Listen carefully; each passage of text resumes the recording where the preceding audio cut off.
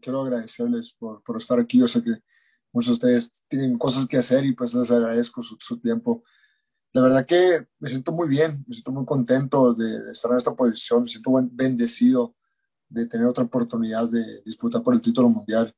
Ir ante un gran campeón, ante un boxeador bueno como el vaquero Navarrete, pues significa todo para mí porque a pesar de que yo siempre quiero ser campeón mundial de nuevo, siempre, quiero ser, siempre ha sido mi sueño, uno de mis sueños grandes es tener un combate como lo tuvo Eric Morales y Marco Antonio Barrera, una, una guerra donde la gente se va con un, con un, buen sabor de boca. Y creo que esta es la oportunidad para, para que eso pase. ¿no? Creo que del estilo del vaquero Navarrete y mi estilo se acomoda para que se, se presente una buena pelea. Y estoy bien emocionado por eso. Así que pues nos encontramos ahorita en Lake Tahoe, aquí en la altura, eh, entrenando en, en, el bosque, en las montañas, como la película de Rocky Balboa. Y la verdad que lo estoy disfrutando mucho. Lo estoy disfrutando mucho. Yo sé que, que esto no va a ser para siempre llegó un tiempo donde me, puse a analizar que eso, el boxeo no es para siempre y, y tengo que aprovechar y, disfrutar todo el tiempo posible. Entonces, ahorita estoy disfrutando todos los días en campamento, estoy ahorita aprendiendo mucho con él, Reynoso, siempre se aprende algo diferente con, con él, estudiamos mucho nuestros rivales y hemos estado haciendo un excelente, excelente trabajo en el gimnasio. Eh, yo creo que, que todo ese trabajo que se ha estado dando eh, durante los últimos meses y años con Eddie Reynoso se va a demostrar este 12 de agosto ante un gran peleador como Vaquero Navarrete. Así que vengo, vengo listo, vengo dispuesto para brindarle no nomás una victoria, sino una buena pelea para el público. Es totalmente diferente, ¿no? El estilo de, de Eric Morales y Marco Guerrero, dos peleadores donde se, había mucho odio entre ellos, donde había algo personal entre ellos. En este caso no es así creo que Vaquero Navarrete es un caballero arriba del ring y abajo del ring y, y, no hay por qué insultarnos, no hay por qué llegar a, provocarnos a, ese nivel. Creo que esta pelea se vende solo, no, no tenemos que hacer eso. Creo que la gente que conoce al Vaquero Navarrete sabe que es un boxeador que, que no se rinde, que va para adelante y que deja su corazón arriba del ring. Y la gente que me conoce a mí, pues pueden saber que yo también eh, haría lo mismo. Siempre que me subo al ring, como decimos nosotros los mexicanos, siempre vamos a morir en la raya. Entonces, con esas cosas, eh, se puede que se presente una, una pelea. Y menciono a Eric Morales y Marco Barrera porque son los que me inspiraron a mí de niño. Pero realmente siempre que mencionas a boxeadores mexicanos contra otro mexicano, hay grandes peleas, ¿no? De Israel Vázquez contra Rafa Márquez, ¿no? Este, eh, podemos quedarnos aquí nombrando muchos boxeadores de la historia que cuando se enfrentan dos mexicanos, hay, se, hace, se, hace, una buena pelea. Entonces, por eso más que nada menciono eso, no, no de, ningún, de, ninguna manera me gustaría compararme que, eh, con, con, mis ídolos como Eric Morales y Marco Antonio Barrera, pero yo creo que por el estilo de ambos se podría venir un, una buena pelea y, y realmente no, no hablo de trilogías porque primeramente tendríamos que pelear esta en el 12 de agosto. Si para una trilogía ocuparías una, una pareja de bailes, se le dice, y creo que puede llegar a pasar, pero hasta no fuimos el 12 de agosto vamos a saber si, si es el caso donde se comete una, una revancha y, y, si no una trilogía. Y Reynoso y yo siempre estudiamos nuestros rivales, ¿no? Y aquí tenemos que estudiar un boxeador como el Vaquero Navarrete, porque es un boxeador que no es el típico boxeador que, que estamos impuestos. No, no tiene el boxeo más bonito del mundo, pero sí es efectivo. Estamos impuestos a, a ver los golpes rectos, entonces normalmente cabeceamos de un, de un estilo más ordinario. Pero cuando estamos peleando, cuando vamos a enfrentarnos a un boxeador como el Vaquero Navarrete, tenemos que estar dispuestos a que venga de todo tipo de ángulos, porque es un boxeador eh, efectivo con sus golpes, que tira golpes de diferentes ángulos. Entonces, sí lo hemos estudiado, lo hemos estudiado bastante, tanto como Eddie Reynoso y yo, nos ponemos a platicar y, y, trabajamos lo que tenemos que trabajar en el gimnasio. Y vas a lo otro, pues sí, este, yo me siento muy agradecido con, con, con Ring Telmes, con Arturo Elías Ayubi, Rogelio Herrera, porque yo fui uno de los primeros en, en ser becados de, esta fundación y les agradezco mucho porque ellos fueron gran parte de mi proceso olímpico. Si no hubiera sido por ese tipo de becas que ellos nos ayudaron nosotros como olímpicos, probablemente yo hubiera, hubiera tenido la obligación de irme al, al, profesional. Entonces, siempre que tengo la oportunidad de que veo a Arturo Elías Ayubo, Rogelio Herrera y a toda la gente de Ring Telmex, les agradezco de todo corazón porque gracias a ellos pude tener mi sueño olímpico gracias a ellos formaron una gran parte de mi carrera como boxeo profesional. Entonces, siempre muy agradecido con toda esa gente que me apoyó desde los inicios y hasta la fecha lo sigue siendo. Así que siempre muy agradecido con ellos. Yo creo que, que sin duda uno de mis mejores espectáculos, sin duda, es contra la Cambridge y uno de mis mejores logros que he tenido porque mi sueño siempre fue llegar a ser campeón mundial del CNB.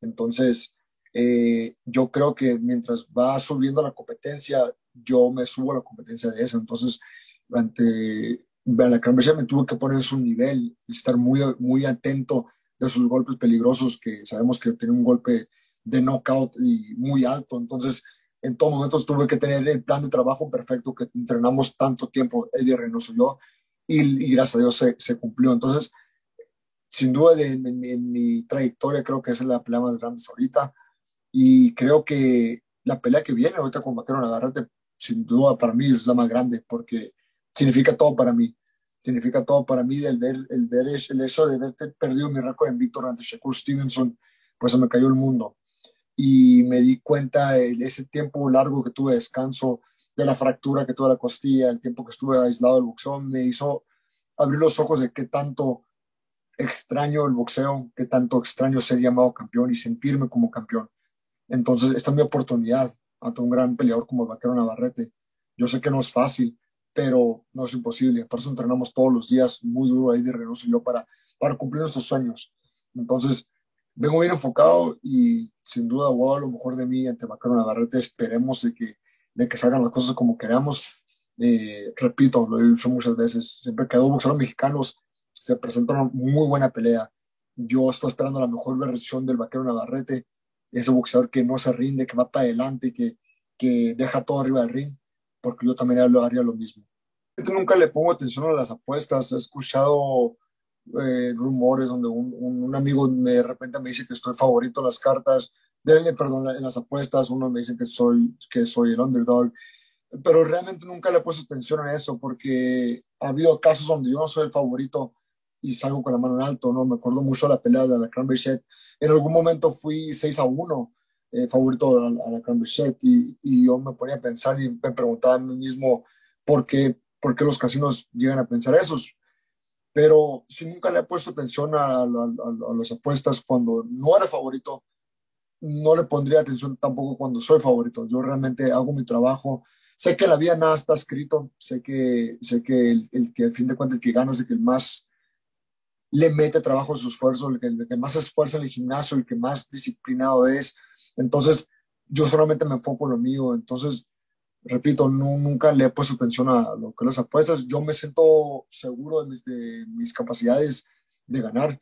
Me he visualizado esta pelea de, de, muchas maneras. Me he visualizado noqueándolo en el primer round, me he visualizado noqueándolo en el último round, me he visualizado ganando distancia, fajándome, boxeándolo, siendo una pelea sucia, pero en todas me visualizo yo como campeón porque siempre siento que es la forma de que un boxeador tiene que pensar.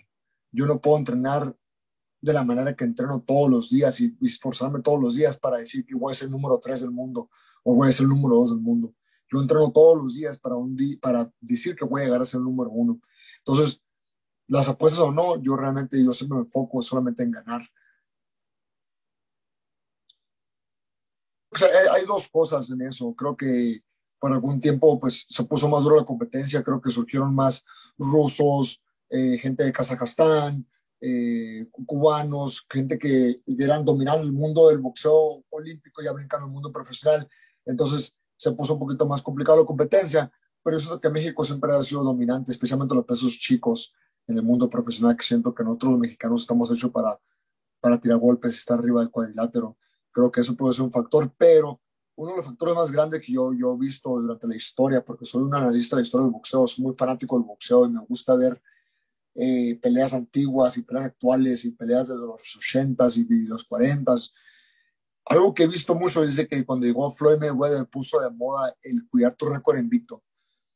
Y eso se puso de moda y la gente, los, la gente, los fanáticos casuales, ¿no? los que no son muy fanáticos del boxeo, pues se vendieron esta idea de que tienes que, tienes que cuidar tu récord invicto para ser nombrado el mejor.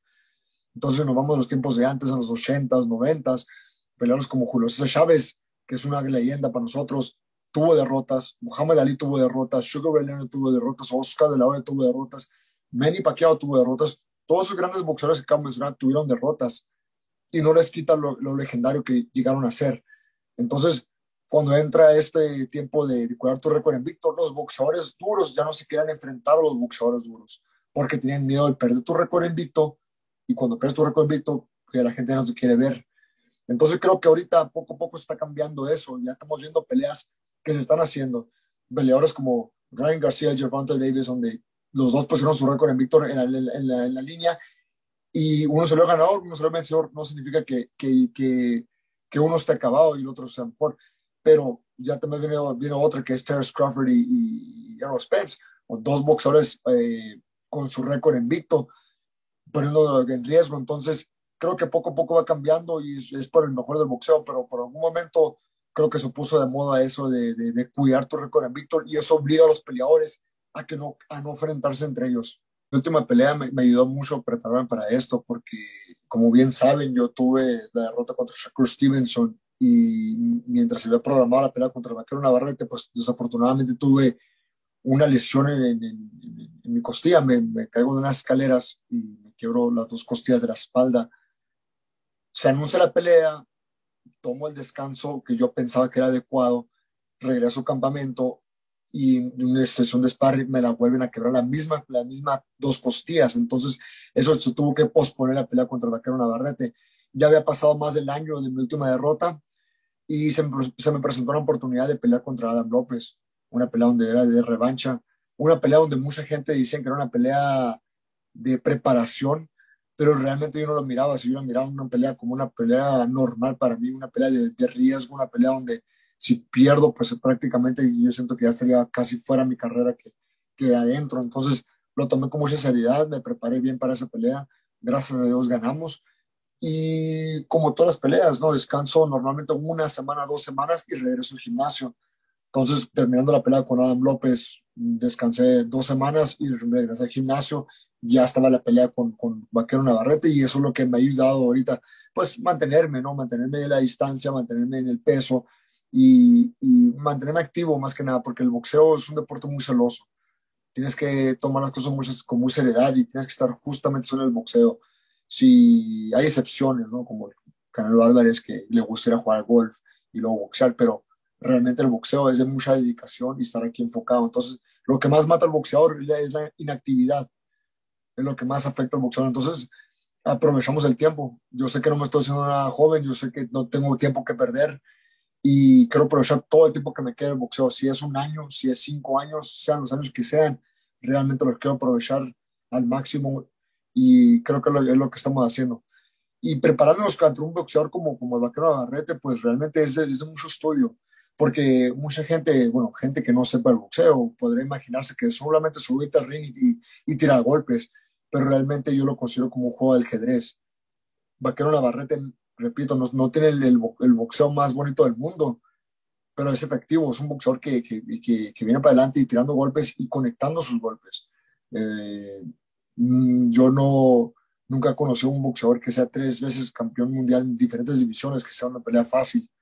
Entonces, por algo está en esa posición, por algo es tres veces campeón mundial en diferentes divisiones, por algo es el campeón ahorita, y lo estoy tomando con mucha seriedad, estudiándolo mucho, viendo sus peleas y trabajando como siempre. Nosotros siempre entrenamos al 100%, eso nunca cambiaría desde que he sido amateur hasta ahorita. No vi un campamento donde no entreno duro, pero realmente ahorita estamos entrenando inteligente, plan de trabajo y fuerte creo que lo, lo, más importante es la disciplina, la constancia y, ya lo demás es la, la, diversión arriba del cuadrilátero cuando estamos peleando. realmente yo podría decir que es la mejor versión de Oscar Valdés, porque vengo con mucha hambre, vengo con mucha hambre. El, el, ver, el ver tener una derrota ante Shakur Stevenson solamente me despertó algo muy dentro de mí que donde, donde tengo más hambre que nunca, donde vengo, vengo, vengo con todo. Y sí tenemos un plan de trabajo, sí tenemos, eh, tenemos, hemos trabajado técnicas, pero muchas veces cuando estás sobre el cuadrilátero y tienes un rival enfrente y te recibes el primer golpe, muchas veces ese plan de trabajo sale por la ventana y tienes que quedarte tú por tú y demostrar quién es el más fuerte, quién tiene más corazón arriba del ring y quién es el, el, más guerrero, ¿no? Supongamos. Entonces, todo puede pasar en esta pelea. todo puede pasar. Yo repito, yo me visualizo esta pelea ganando por nocaut desde el primer round, ganando por nocaut desde el último round. Me visualizo boxeando a mi rival, me, imagino, me lo visualizo siendo una pelea complicada, abrazándonos. Me, me imagino tú por tú intercambiando golpes como la gente quiere ver, pero me lo visualizo de muchos tipos de maneras, pero siempre me visualizo ganando. Eso siempre, siempre ganando. Y, y todo depende qué va a traer el vaquero Navarrete el día de la pelea. Porque, repito, tú puedes tener un plan de trabajo, pero si el vaquero Navarrete decide cambiar su estilo, pues yo tendré, también tendré que cambiar mi estilo. Entonces, repito, yo tenemos plan A y plan B, podemos boxear, pero lo que la gente le gusta, lo que más me gusta a mí y lo que estoy esperando y lo que yo sé que toda, toda la gente está esperando es fajarnos. Entonces, hay maneras de fajarse. Todos consideran a Juan Manuel Márquez un guerrero, un boxeador que se quedaba enfrente de tu cara, pero era defensivo también. Era un boxeador que peleaba, y daba guerras, pero muy defensivo, mucho contragolpe y salía ganando y noqueaba y, y, era muy espectacular. Entonces, cuando la gente escucha a un boxeador que dicen que es un boxeador que se mueve, automática, automáticamente piensa que es una pelea aburrida, donde vamos a llavear y correr sobre el cuadrilátero. Yo no creo que, es que sea este caso, yo creo que este caso va a ser un tipo de pelea donde lo vamos a dar y donde la gente se va a ir con un buen sabor. Sin duda, esta pelea significa todo para mí, es, es, es, es todo nada para mí. Yo necesito más esta pelea que él necesita para mí. Él históricamente ya hizo tres veces, él ya hizo historia, tres veces campeón mundial en diferentes divisiones. Yo ahorita vengo a dejar una, un mensaje el mundo del boxeo. Que no porque pierdas tu récord invicto significa que te has acabado. Mucha gente piensa que cuando pierdes ya tu récord invicto o tienes una derrota, automáticamente te están echando a la basura ya no sirves en el boxeo, ya no eres el mejor. Entonces, si yo gano esta pelea, daría ese claro mensaje que, que no hay problema que enfrentarte a los mejores. Si llegas a tener una derrota, no pasa nada te levantas, te sacudes y vas para adelante a la siguiente pelea. Y es tanto así arriba del ring que abajo del ring. En la vida no siempre vas a tener lo que quieres. Probablemente no se las cosas como uno quiera. Si fracasas, te levantas y sigues adelante. Entonces, para poder dar ese, mensaje que quiero dar, tengo que ganar esta pelea. Y repito, vengo con mucha hambre para hacerlo. Vengo bien enfocado, bien motivado ganó esta pelea, ese sería mi, mensaje para, para, todo el mundo del boxeo. Hay que enfrentarnos entre los mejores, que gane el mejor, pero si tienes una derrota, no pasa nada. Te levantas esa derrota y sigues adelante y buscas otra vez tu sueño. Me preparo solamente para tener knockout. Me preparo para, desde el primer round hasta el doceavo round con todo mi esfuerzo. Si knockout viene, dejo que venga solo. Realmente yo nunca he planeado un knockout eh, el plan del knockout viene por repeticiones del gimnasio y por, plan de trabajo y eh, memoria muscular, solamente salen los golpes y, y, y en el knockout. Entonces, realmente nunca pienso en el knockout, dejo que, que pase solo. Y la última pelea que, que, que vimos con Vaquero Nadarte, pues sí, eh, hay dos cosas que miré de eso. Hay una de las cosas que es la más fácil, donde la gente podría ver, es de que, pues sí, Vaquero Nadarte, sí lo puedes mandar a lona, sí lo podemos tumbar, sí lo podemos noquear, se puede decir. Pero hay otra cosa también, Vaquero Nadarte sí se levantó de ese knockout, se levantó y peleó desde ese round en adelante con mucho corazón, como todo un guerrero, y a fin de cuentas vino noqueando a su rival al último. Entonces yo prefiero estar preparado para la segunda opción, la mejor versión del vaquero Navarrete. Yo sé que se puede ir a la luna, pero también estoy consciente de que es un boxeador que no se va a rendir, porque así somos los mexicanos. Arriba del ring así somos, no nos rendimos arriba del ring. Lo hemos demostrado una tras otra vez y Vaquero Navarrete no es la excepción. Entonces, yo vengo bien preparado para la mejor versión del Vaquero Navarrete.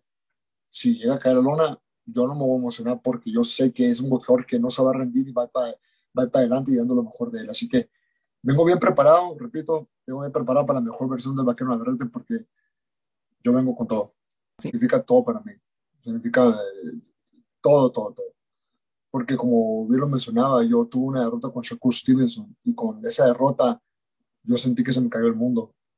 Realmente tú te preparas siempre para ganar y nosotros los boxeadores, bueno, en mi caso, yo siempre estoy impuesto que cuando tú haces las cosas bien en la vida, si te levantas temprano y te esfuerzas y eres disciplinado y constancia y, y tienes un sueño y lo manifiestas y si te, le metes todas las ganas, pues mis indicaciones son que van a salir las cosas bien, porque es lo que la vida me ha enseñado.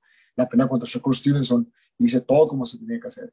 Desde ser las, entrenar duro, ser disciplinado, hacer las cosas bien, eh, estar en el campamento, eh, bien concentrado, y las cosas no salieron como yo quise. Entonces, se me cayó el mundo eh, en esa pelea, pero tuvo una semana, dos semanas de, de pensar llegó un momento donde yo mismo hablé conmigo mismo y, yo mismo me regañé, donde me dije, pues no pasa nada si te levantas, dejas de estar llorando, te levantas, te sacudes y vas para adelante. Entonces, vengo con mucha hambre ahorita, porque es todo para mí.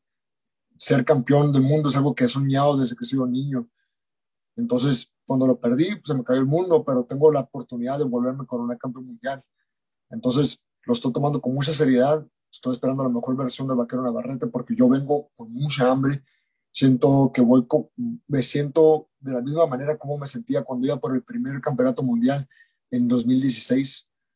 Entonces, vengo, vengo mejor que nunca porque me siento un boxeador mucho más maduro, me siento con, con, con más experiencia, tengo un gran entrenador, tengo un gran equipo que me ha respaldado durante el campamento y, y es todo nada para mí es todo nada para mí. Repito, yo quiero, para dar el mensaje que yo quiero dar, tengo que ganar esta pelea. Porque hay muchos boxeadores que no se quieren enfrentar a los mejores con los mejores, porque tienen miedo a perder su récord invicto. Piensan que el momento de perder la derrota, de tener una derrota, pues ya no van a valer en el mundo del boxeo. Entonces, para dar ese mensaje, yo tengo que ganar esta pelea y, vengo dispuesto a dejarlo todo arriba del ring. Lunes a sábado, ¿no? La, la, rutina, ¿no? Nos despertamos a la, a las 8, de la mañana nos preparamos, eh, tomamos la, proteína, el, desayuno, vamos a, entrenamiento. Normalmente si es lunes hacemos sparring, si es martes hacemos el tipo de manopla, pero normalmente es de, de, de 10 a 12, 10 a 12, 12 y media a veces, cuando ya metiéndole la preparación física. Entonces, de 10 a 12, eh, boxeo, una media hora de, de, de preparación física, Regresamos, nuestra primera comida es fuerte es a la una y media. Vamos a descansar, normalmente leemos un libro, descansamos porque para las seis, entre seis, seis y media, siete, salimos a correr y, cada día es diferente. Un lunes normalmente corremos distancia, el martes corremos sprints, otra vez el, miércoles volvemos correr otro tipo de distancia de, subidas. Eh, regresamos de, de, de 6 a 7, un ejemplo, regresamos, ahí sí ya se habla con la familia por FaceTime, porque como muchos saben, en campamento, estamos ahí alejados de la familia, estamos en una cabaña, realmente somos tres personas en este campamento, que es mi, mi primo Baba y es mi, mi, doctor, que es doctor La Madrid. Estamos aquí encerrados, platicamos un poquito, hablamos FaceTime con la familia, porque estamos aislados de todo, en abstenencia, fuera de, de dietas, fuera de todo. De... Entonces, eh, nos dormimos como a las nueve y media y al día siguiente otra vez de nuevo. Se puede escuchar un poquito fácil, pero es mucha constancia. Tenemos muy constante lo que tenemos que hacer de lunes a sábado. Los domingos realmente sí los descansamos.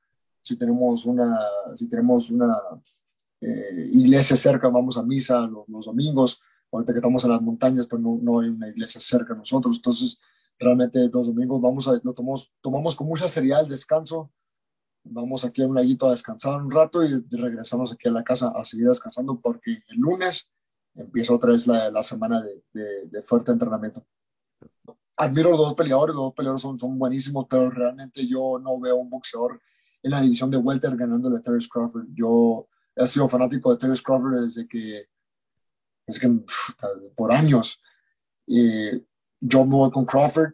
Incluso creo que puede venir un knockout por, de parte de Crawford, pero realmente 100% Crawford con esta pelea. Mucho. lo, que, lo que sí podré decir siempre es que podrán esperar la mejor versión de Oscar Valdés, porque vengo bien fuerte, vengo bien enfocado, vengo a dejar todo arriba del ring.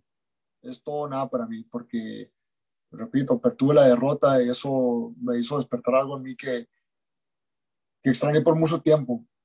Entonces, esta es mi oportunidad de regresar y regresar fuerte dejar ese claro mensaje que, que, no, no, porque tienes una derrota significa que te has acabado en el boxeo. Entonces vengo bien fuerte y, algo que siempre he dicho yo, Me acuerdo mucho de mi entrenador, paz descanse, Francisco Bonilla, siempre me lo dijo cuando éramos amateurs, nunca prometas un knockout, nunca prometas una pelea del año, nunca prometas nada espectacular arriba del ring. Pero lo que siempre puedes prometer es dejar tu mejor esfuerzo arriba del ring, dejar tu corazón, tus ganas, todo arriba del ring. Y realmente es lo que he hecho. Yo siempre le prometo a toda mi gente que yo siempre que me suba al ring, sepan que estoy dejando todo ahí. Todo mi esfuerzo, todas mis ganas, todos los meses de preparación y mi corazón lo voy a dejar siempre al ring.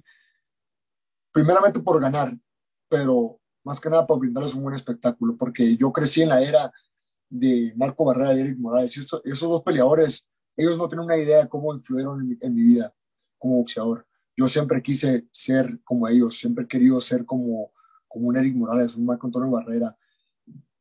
A mí no me tocó la época del Chávez, me tocó esa época y, y el mensaje de ellos era muy claro, subirte y partirte el alma arriba del ring y dejar todo. Entonces, de cierta manera yo soy el boxeador que soy gracias a ellos porque yo puedo boxear, yo puedo subirme al ring y mover de, cintura y, usar mis piernas. Tuve una trayectoria muy buena olímpica donde me ayudó a ser el boxeador que soy. Pero si estoy en centro del ring peleando es porque yo decido, porque yo quiero, porque quiero brindarles un buen espectáculo a mi público. Así que siempre que toda la gente que sepan, siempre que estoy arriba del ring, yo siempre estaré dejando mi mejor esfuerzo y todo arriba del ring esa pelea, como repito, me cayó muy pesado la derrota, pero muchas veces aprendes más de las derrotas que de las victorias.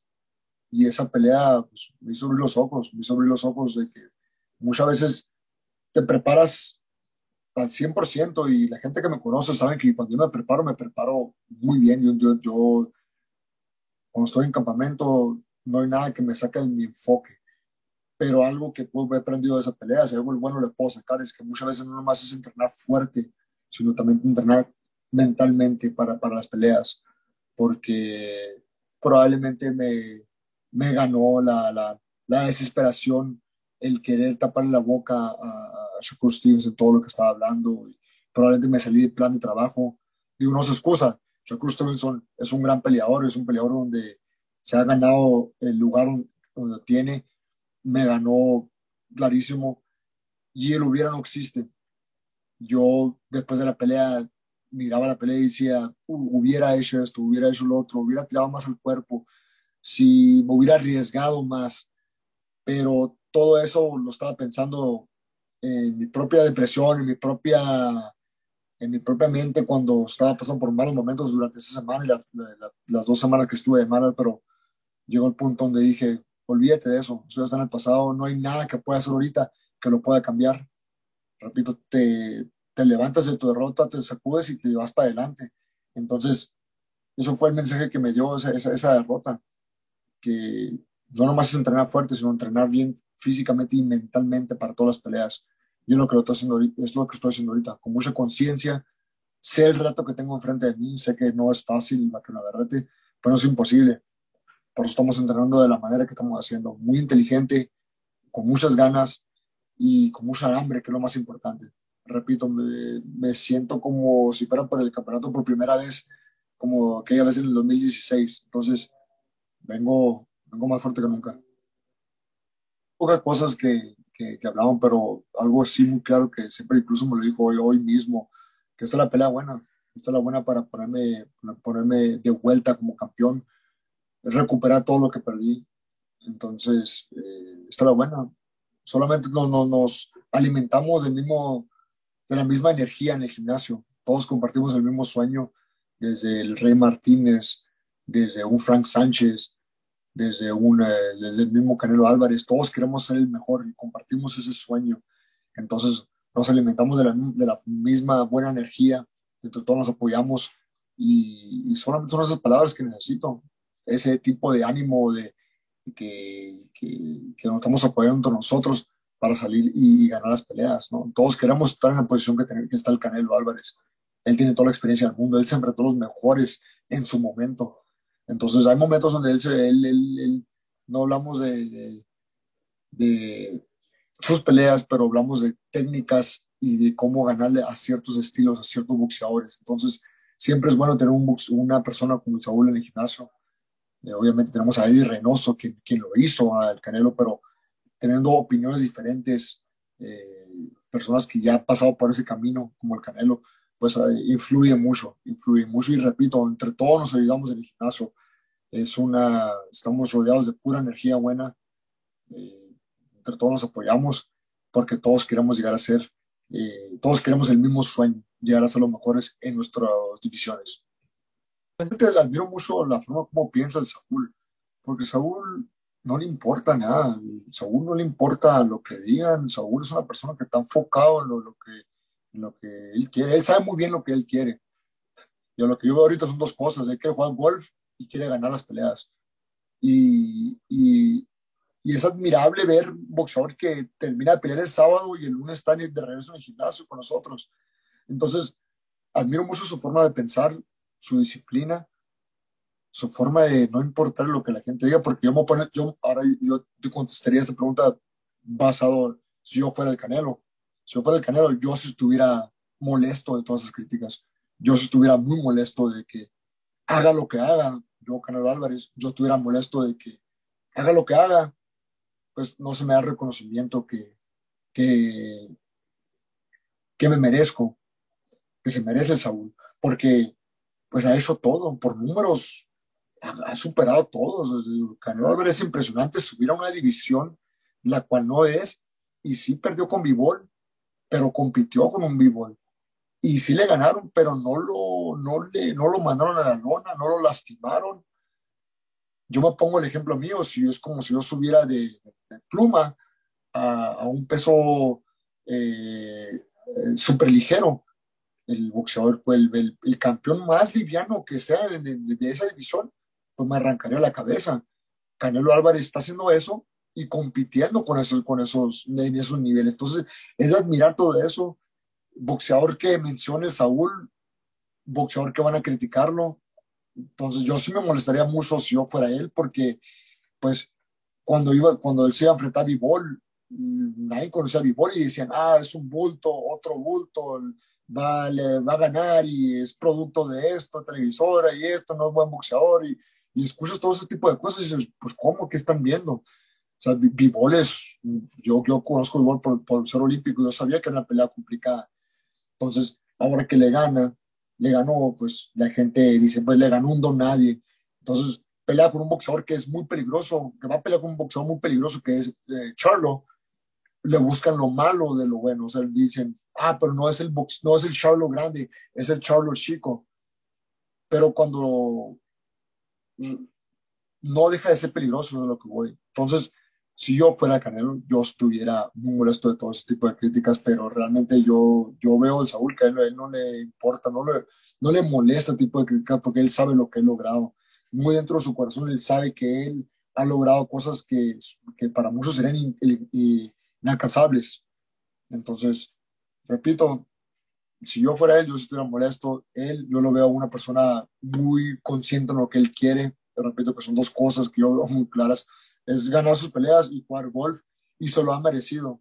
Se lo ha merecido porque él, él tiene muchos años, tiene más de 10 años peleando en un nivel de elite con los mejores. Y pues yo creo que ahorita hay peleadores como Tyson Fury que está peleando con peleadores del MMA y no se le critica tanto al, al peso completo, el, mejor de los pesos división, de los pesos grandes, como se le critica a un Canelo Álvarez que está peleando con un boxeador que es muy bueno, un boxeador como Jermaine Charlo, buenísimo, o sea, yo, yo no la veo fácil esa pelea y creo que Saúl sabe lo que tiene enfrente de él y no lo está tomando con, no lo está tomando a la ligera, está entrenando duro para esta pelea y, repito, no es una pelea fácil, pero yo sé que Saúl tiene todo para ganar la pelea.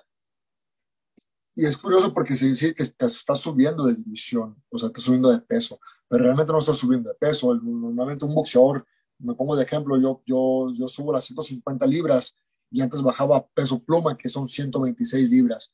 Cuando subí de división a 130, en vez de bajar de 150 a 126, ya no me bajaba a las 130. Entonces, eso me ayudó mucho a tener más fuerza a partir del cuarto round, quinto round, yo cuando era peso pluma, yo ya estaba cansadísimo, ya no, ya no podía continuar peleando y ganaba porque pues sacaba mañas, boxeaba y, y abrazaba y, y, muchas tenían knockout y pues me salía con, con la mano en alto. pero realmente no era conveniente para mí. Me convenía mucho mejor de las 150 bajar a las 130. Entonces, en este caso con Charlo, creo que le puede favorecer de, pelear, no sé, un ejemplo de 100, 180, bajaría nomás a las 168.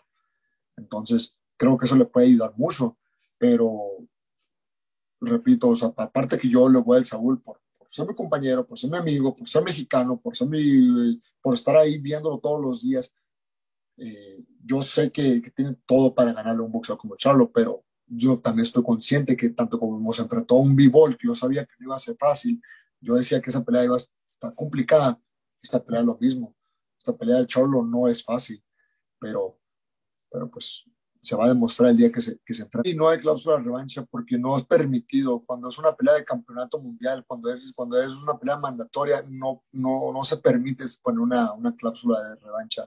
Pero algo que sí sé, que, que si es una pelea buena, es una pelea como la, esperamos tanto el vaquero, la barreta y yo, y el público, que es una pelea buena, si sale buena y, y pasa lo que pase, yo no creo que ocupamos una cláusula de revancha, porque tanto él la quiere como yo la quiero, porque lo hemos dicho muchas veces, queremos una pelea que hiciéramos que fuera una trilogía, si es así, pero para que sea una trilogía, primero tenemos que pasar la primera pelea, estará complicada, no imposible, vamos a hablar mejor de nosotros, pero no hay cláusula de revancha, pero no dudo que si todo sale como queramos, se vuelva a hacer otra vez.